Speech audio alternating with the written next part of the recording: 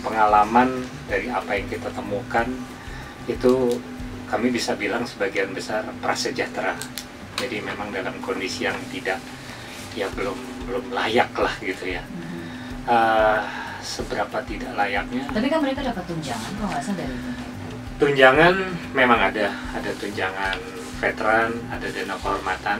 Tunjangan veteran itu kalau nggak salah sesuai dengan dengan pangkat, pangkat ya, pangkatan. Ya.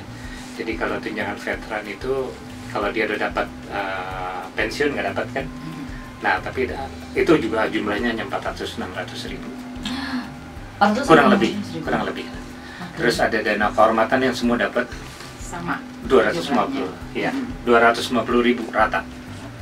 Ya. Oh, pangkat. Kalau dijumlahin itu nggak sampai sejuta. Iya. Di Jakarta akrobat udah pasti. Ya kan?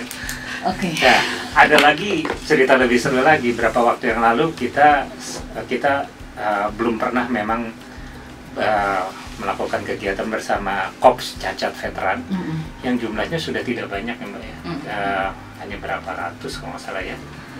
Nah itu mereka ada tunjangan cacat, mm -hmm. jumlahnya siap-siap dengar angkanya ya, dua puluh dua ribu. Dua puluh dua ribu untuk tunjangan cacat ringan, empat puluh empat ribu cacat uh, sedang, enam puluh enam ribu cacat berat, dan mm -hmm. itu uh, ya nggak selalu rutin dapat juga mereka gitu.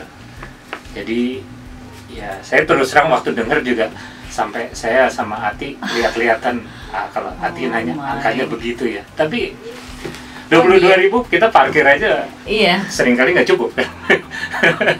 Gitu jadi ya itulah faktanya gitu loh nah kalau mengenai kondisi veterannya sendiri mungkin memang kalau kita mau ngelihat lebih baik langsung ke rumah karena kalau lagi ada kegiatan mereka pasti datang dengan pakaian terbaik hmm, hmm, dengan apa yang mereka punya terbaik. terbaik. Seringkali mungkin nggak terlalu kelihatan, tapi kalau kita lihat lebih jauh sebenarnya tetap terlihat.